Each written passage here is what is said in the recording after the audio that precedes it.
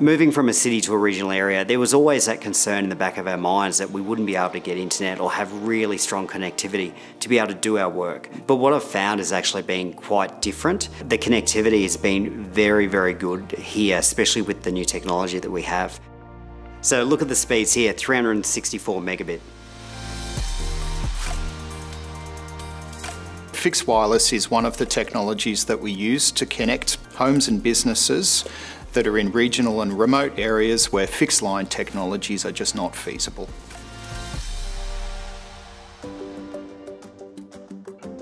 My name is David Hunt. I am a manager for the Glen Innes Severn Council, uh, the local government organisation here. I live here with my wife Melany and children Sophia and Harrison, and we also have a dog called Duke. We actually moved a couple of years ago from a big metropolitan centre to a small country town called Glen Innes in northern New South Wales.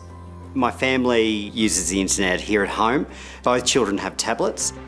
When I'm working from home, it's the standard emails, video conference calls. From a university point of view, I am studying at the moment a graduate diploma in project management, and that is all, all remote learning. My wife Melany works fully remotely. Uh, her role is a project administration role. Her um, main office is actually in Brisbane in Queensland. My workplace is fully cloud-based, so it's really important to have that great connectivity. I do quite a lot of video calls with my team, downloading and uploading lots of files throughout the day and my work time, uh, and having great connectivity allows me to do that efficiently. Nokia was one of the original partners engaged to deploy the national broadband network. In 2023, we launched a new end user device in fixed wireless. That device is a new 4G and 5G capable device. When the NBN fixed wireless was installed, there was this relief that we actually didn't need to continue hotspotting and we had general connectivity throughout the house. For me, even if there's storms and wet weather, the speeds seem very fast. On the fixed wireless network today, we use uh, three different frequency bands. We use a mixture of 4G and 5G technology that's been introduced through uh, the new Nokia device. We get the best of both worlds effectively.